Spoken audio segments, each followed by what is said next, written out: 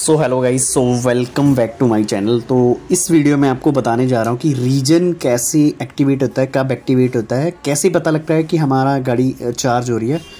तो सबसे पहले मैं आपको बता दूँ कि मैंने ये 1500 प्लस किलोमीटर मैंने राइड कर लिया है विद इन ट्वेंटी डेज़ में।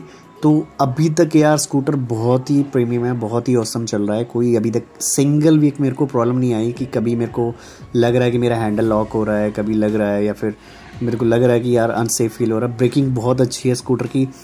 लाइटिंग बहुत अच्छी है। रात को ये इसका डैशबोर्ड इतना इन्हांस करता है लुक को बहुत ज़बरदस्त लगता है।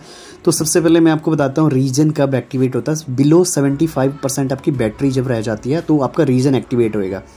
तो पता कैसे आपको लगेगा?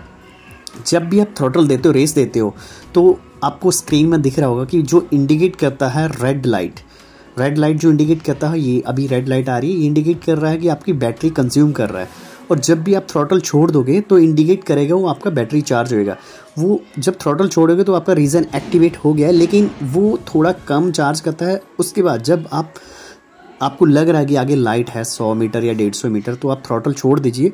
और ब्रेक के बजाय थ्रोटल उल्टा दीजिए। जैसे आप रिवर्स में देते हो थ्रोटल उल्टा दोगे तो क्या होगा, आपका जो है वो मिनी से एक ब्रेक आपको लगेगी, आपको फील होएगा कि थोड़ा आपकी ब्रेक लग रही है।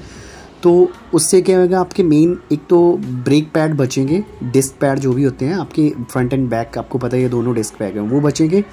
और स्कूटर आपको पता लगेगा कि आपका बिल्कुल धीरे धीरे स्लो हो रहा है और ऑटोमेटिकली रुक जाएगा और आपका बैटरी भी इंक्रीज़ होगा परसेंटेज आपकी रेंज और इंक्रीज़ होएगी। तो ये था वीडियो तो अभी मैं आपको बताता हूँ, ये देखिए थ्रोटल हमने दिया बैटरी कंज्यूम कर रहा है। रेड इंडिकेट कर रहा है बैटरी कंज्यूम कर रहा है। देखिए, अब मैं थ्रोटल छोड़ दिया तो ये बैटरी चार्ज हो रहा है ग्रीन अगर मैं थ्रोटल अगली, आगे की तरफ़ करूँगा रिवर्स की तरफ़ तो ये और चार्ज होएगा, और रीजन करेगा। अगर आप थ्रोटल दोगे, तब भी ये चार्ज होता है। अगर आप थ्रोटल रिवर्स दोगे तो उसकी परसेंटेज और बढ़ जाती है। तो ये है, जैसे आप उतराई में चलते हो, आपको लग रहा है कि बहुत उतराई है, आगे लाइटें हैं, आपको लग रहा है कि आपको 100 मीटर बाद रुकना है तो आप थ्रोटल छोड़ दीजिए और लग रहा है आपको कि आपको और जल्दी रुकना है तो थ्रोटल थोड़ा रिवर्स दीजिए। तो ये थी पूरी वीडियो जिसमें मैंने आपको समझाया कि थ्रोटल कैसे आपका रीजन एक्टिवेट होता है और ये ज़ीरो तक चलता रहता है रीजन ऐसा नहीं है कि बिलो आपका पाँच परसेंट या तीन परसेंट लेकिन सेवेंटी फाइव से स्टार्ट होएगा। ये देखिए राइट मैंने थ्रोटल उल्टा दिया तो ये रीजन एक्टिवेट हो गया और खुद ही आपको फील होगा कि आपकी मिनी ब्रेक लग रही है। तो यार, जब भी आपको लगे कि आपको ब्रेक लगानी है तो थ्रोटल का मैक्सिमम यूज़ करो। थ्रोटल उल्टा घुमाओ और रीज़न जितना मैक्सिमम यूज़ कर सकते हो, उतना यूज़ करो। ताकि आपकी रेंज भी इंक्रीज़ होगी तो ये थी छोटी सी वीडियो लगभग 22 दिन में मैंने 1500 प्लस मैंने चला दिया है। यानी कि आप डेली का मान के चलिए 70 किलोमीटर का रन तो आप देख लीजिए, अभी तक मेरे को ज़ीरो परसेंट भी प्रॉब्लम नहीं आई। यार जो लोग बोल रहे हैं कि मेरा फट गया या मेरा चल नहीं रहा, देखो, हज़ार में से एक आधा स्कूटर ऐसा होता है जिसमें प्रॉब्लम होती है। लाइक वैसे फ़ोन हो गया, वैसे ही उनमें ये दिक्कत होती है। कुछ टेक्निकल चीज़ें ऐसी थी ठीक ही नहीं होती।